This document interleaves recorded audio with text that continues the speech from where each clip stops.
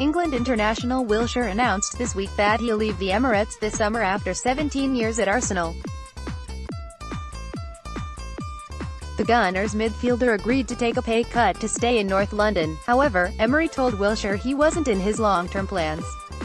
And Giroud, who was Wilshere's teammate for five years at Arsenal, claims Emery's decision could come back to haunt him. It's big news and I'm very sad to hear it, because he's a good friend, said Giroud. Jack is a good lad, a very good player, very talented and it is a shame he has had so many injuries.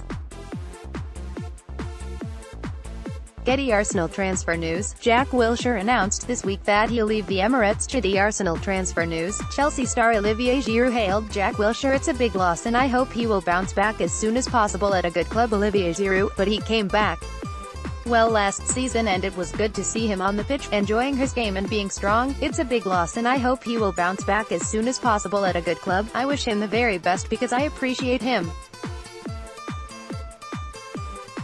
I hope for him and his family he will bounce back. The new manager makes the decision and he has the responsibility for the team and the player. West Ham and Crystal Palace lead the race to sign Wilshere this summer.